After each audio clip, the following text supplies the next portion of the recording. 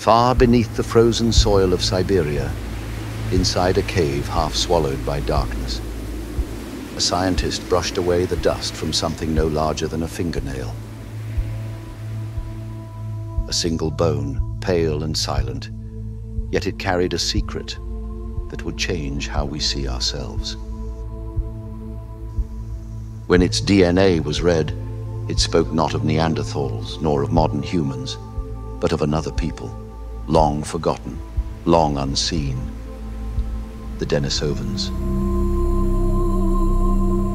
From that one fragment, a new branch of humanity emerged. A sister lineage that once walked beside our ancestors, hunted in the same forests, saw the same stars, and then vanished leaving behind only whispers in our blood.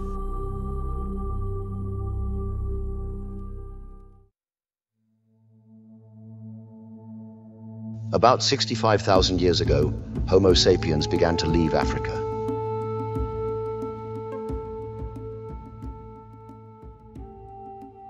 They followed rivers through the Levant, entering new lands already home to another kind of human, the Neanderthals.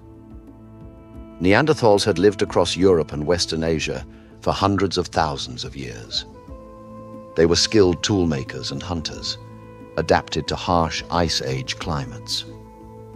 In the Levant, the first meetings between modern humans and Neanderthals began. By 60,000 years ago, both species shared the same landscapes, sometimes competing, sometimes exchanging tools, ideas, and genes. From there, humans moved north into Anatolia, a region linking Africa, Asia, and Europe. Anatolia was more than a crossing point. It was a place of contact. Here, early humans and Neanderthals likely lived side by side for thousands of years. Archaeological and genetic clues suggest that some of the first genetic mixing outside Africa may have taken place on this land. From Anatolia, one branch of humanity moved west into Europe. There, Neanderthals slowly disappeared by around 40,000 years ago. Their extinction was likely caused by several factors, a changing climate, declining populations, and competition with modern humans. Yet part of them survived through us, carried quietly within our DNA. Another branch of humans went east, across Iran, Central Asia, and into the high plateaus of Siberia.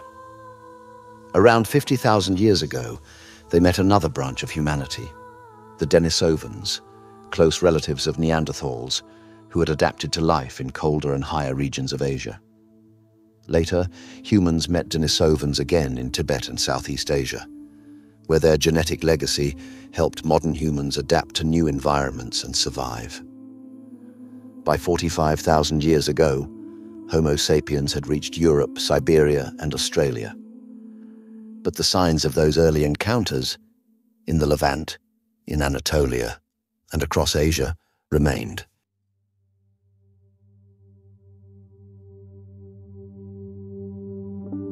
Most people outside Africa carry about 2% Neanderthal DNA, but in the islands of Southeast Asia, in New Guinea and across Australia, some carry 4 to 6% Denisovan ancestry, the highest archaic imprint on Earth. It means the Denisovans were not ghosts of the north. They were neighbors of the tropics, thriving beneath the monsoon skies of Indonesia and beyond. Yet bones tell us almost nothing of them. Only fragments, a tooth, a jaw, a finger. So where did the rest of their story go?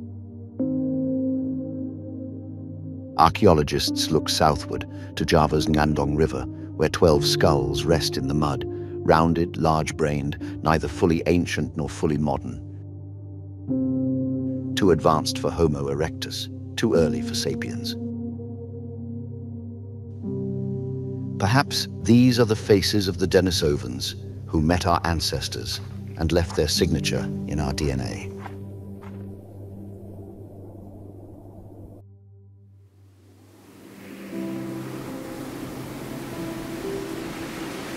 The disappearance of the Denisovans did not mark a complete end.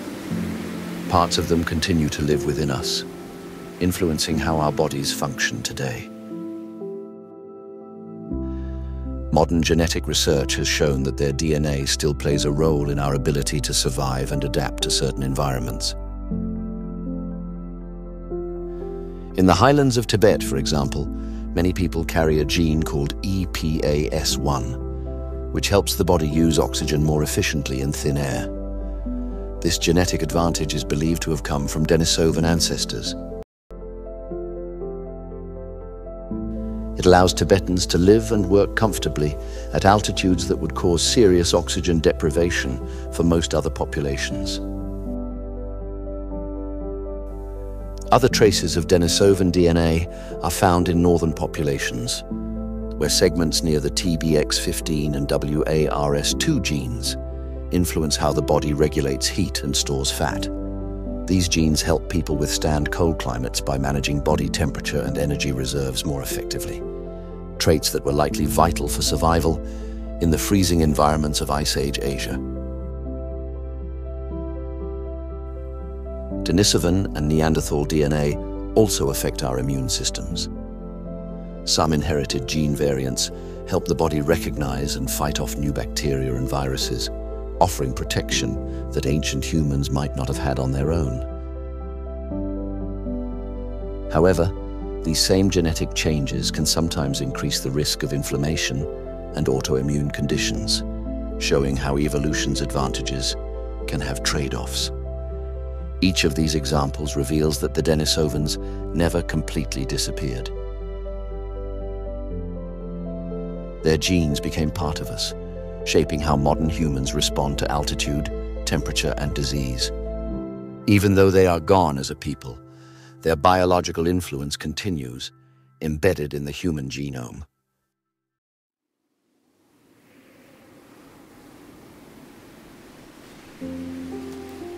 The Denisovans may be gone, but their story didn't end in that Siberian cave. It continues in us in the way we breathe, adapt, and survive. Every heartbeat carries a memory of them and of all the others who came before.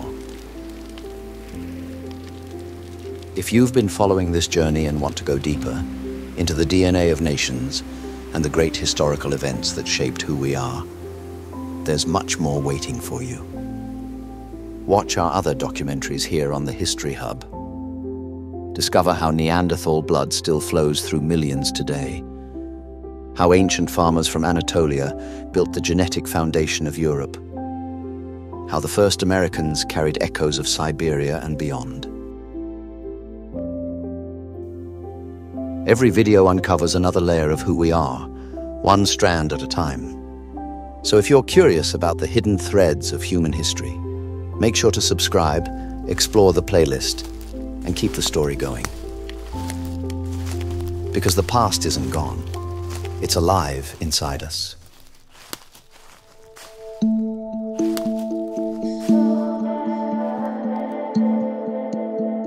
In a mine we wander, traces in the soil, ancient codes awakened by the rain sticks cold, a world unseen unfolding, secrets to uncoil.